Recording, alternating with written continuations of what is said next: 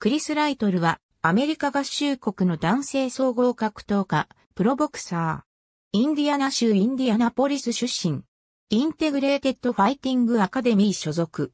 元刑事レイジ世界ウェルター級王者。元 HOOKnSHOOT 世界ウェルター級王者。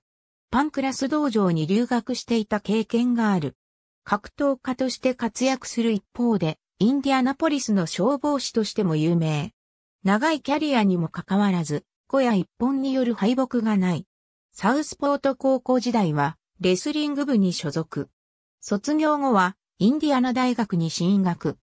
19歳の時に街でタンスードーの道場を見つけ興味を持ち習い始め、さらにその道場の選手に Integrated Fighting Academy のジェイソン・ゴドシーを紹介され、総合格闘技の練習を始めた。1999年4月18日、初参戦となったパンクラスで、渋谷修身とパンクラチオンマッチで対戦し、時間切れドロー。2000年11月17日、UFC 初参戦となった UFC28 でベイヤーウッドと対戦し、0から3の判定負けを喫した。2002年6月25日、プロボクシングデビュー。2002年12月21日、パンクラスミドル級王座次期挑戦者決定戦で、竹内いずると対戦し、0から2の判定負けを喫し、挑戦権獲得に失敗した。2003年3月8日、フックンシュート世界ウェルター級王座決定戦で、アーロン・ライリーと対戦し、パンチで小勝ちを収め王座獲得に成功した。2003年11月21日、3年ぶりの UFC 参戦となった UFC45 でロビーローラーと対戦し、0から3の判定負けを喫した。2006年2月4日、刑事0時15の世界ウェルター級王座決定戦でロスメイソンと対戦し、チョークスリーパーで一本勝ちを収め王座獲得に成功した。2006年8月、リアリティ番組、ザ・アルティメット・ファイターのシーズン4にチームモウジョのウェルター級選手として参加。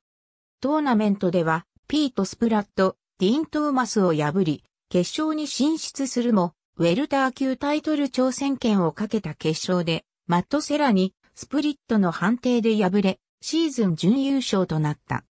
2007年7月7日、UFC73 でジェイソン・ギリアムに腕ひしぎ三角固めで一本勝ちを収め、サブミッション・オブ・ザ・ナイトを受賞した。2007年7月、約1年余りにわたって保持していた、刑事0時世界ウェルター級王座を返上。ライトルはその理由を、自らの友人のウェルター級選手たちにタイトル取得の機会を与えるためとしている。2007年11月17日、UFC78 でチアゴ・アウベスと対戦し、2R 終了時に左まぶたカットによるドクターストップで TKO 負けとなったもののファイト・オブ・ザ・ナイトを受賞した。2008年2月2日、UFC81 でカイル・ブラッドリーと対戦し、開始33秒パウンドで TKO 勝ちを収め、ノックアウトオブザナイトを受賞した。10月18日、UFC89 でポール・テイラーと対戦し、判定勝ちを収め、ファイト・オブ・ザ・ナイトを受賞した。2009年1月17日、UFC93 でマーカス・デイビスと対戦し、判定負けとなったもののファイト・オブ・ザ・ナイトを受賞した。6月20日、ザ・アルティメット・ファイター、ユナイテッド・ステーツ VS ユナイテッドキングダムフィナーレでケビン・バーンズと対戦し、判定勝ちを収め、ファイト・オブ・ザ・ナイトを受賞した。2010年2月20日、UFC110 でブライアン・フォスターと対戦し、膝十字固めで下し、サブミッションをオブ・ザ・ナイトを賞受した。7月3日、UFC116 でマット・ブラウンと対戦し、ストレートアームバーで一本勝ちを収めた。9月25日、UFC119 でマット・セラと対戦し、3から0の判定勝ちを収めた。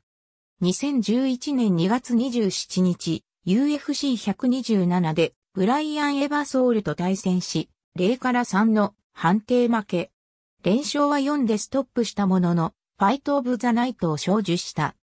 2011年8月14日、引退試合となった UFC ライブ、ハーディー VS ライトルでダン・ハーディーと対戦し、3ラウンド終盤にギロチンチョークで1本勝ち、ファイト・オブ・ザ・ナイトとサブミッション・オブ・ザ・ナイトを勝受した。試合後、オクタゴンに子供たちを呼び込み抱擁を交わした。ありがとうございます。